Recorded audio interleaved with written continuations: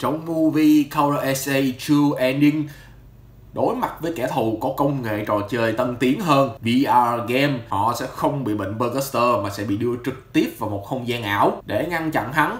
Game đã chế tạo một thiết bị VR cũng như chiếc Gashat giúp SA chiến thắng Mighty Greater VRX Trận chiến của anh chỉ diễn ra duy nhất với Kurofuma, một kẻ sở hữu sức mạnh của Ninja Hurricane. Dồn ép được hình dạng level 2 của SA đã buộc anh phải sử dụng tới chiếc Gashat VRX chuyển hóa SA để đối phó với tên Ninja lắm chiêu này. Tạo hình của VRX được bao phủ bộ giáp trắng, đen xen là màu đen cũng như những vệt xanh dương và cơ thể với đầy đủ những sắc thái, tạo nên hình hai mũi tên chập lại với nhau trên phần ngực. Đôi kính VR cũng như cặp mắt SA đặc trưng vẫn còn được giữ nguyên. Và một phần vạt áo kéo dài tới phần chân, tạo hình của anh rất giống với Chronos, thể hiện sức mạnh thần thánh của phơm này mang lại. VRX là game, tạo ra game, đó là câu mà game nói như thế nhưng thực chất thì VRX sẽ tận dụng chiếc Gashat như một chiếc Apple Pencil, vẽ ra những vật thể trong trí tưởng tượng của SA cũng như xóa bỏ chúng đi.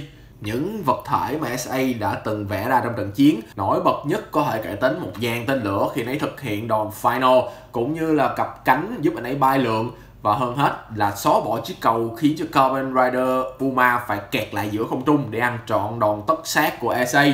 tạo ra cũng như xóa bỏ những gì mình có thể chế tạo. Đó là khả năng đặc biệt của chiếc Gashat cũng như hình dạng Creator VRX đòn tất sát của anh Mighty Critical Strike.